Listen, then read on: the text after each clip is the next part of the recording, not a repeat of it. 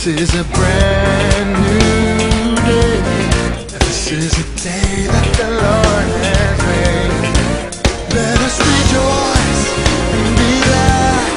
This is a new day. This is a new day. This is a Brand new.